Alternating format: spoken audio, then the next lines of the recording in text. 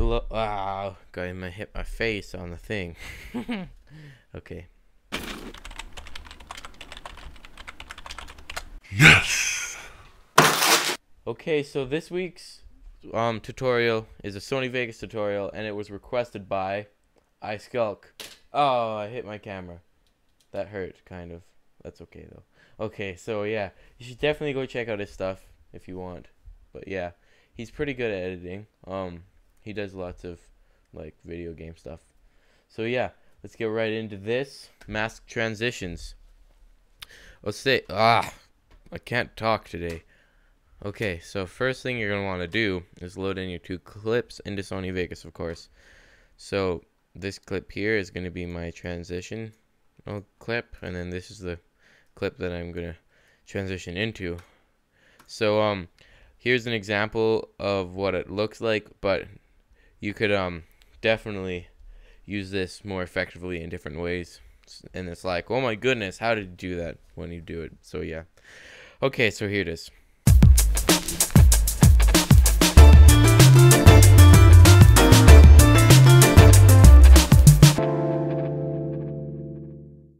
So like I said, of course, it's not very good, but I did it quickly.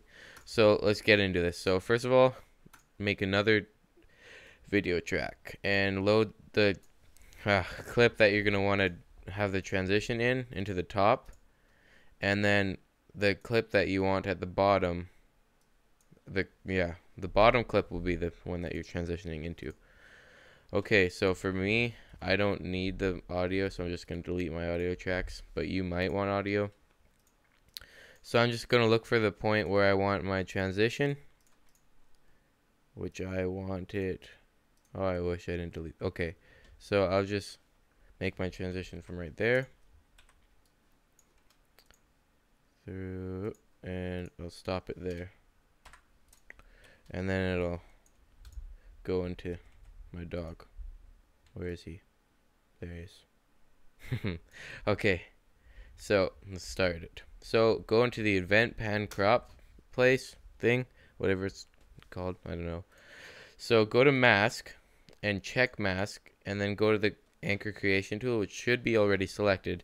Now we just need to go through the frames until we get to the first frame we're going to want to mask. So I don't really there okay. So you can see there's that small ah, section right there. Okay so we'll just mask out this section by just clicking all around and then when you're done you just click like that and then go to mode negative. So that small section you can see is masked out. And you might want to go to feather. And then I'm going to go in and then one just to give it a slight feathering. Actually, two. No, one. So yeah, that's how you do it. I'll just do another one. Then just delete your old one by hitting delete. And then just remask the whole thing. Like so. And if you have little bendies, you can just click and pull and it'll bend it. Yeah like that. So that's how you do it.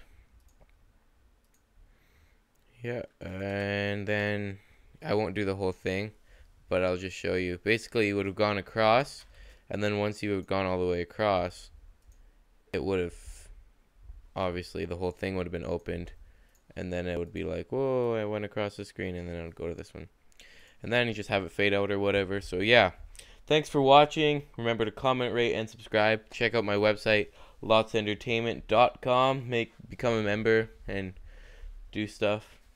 Yeah. So have a good day, evening, night, or morning. Yeah. Okay, bye.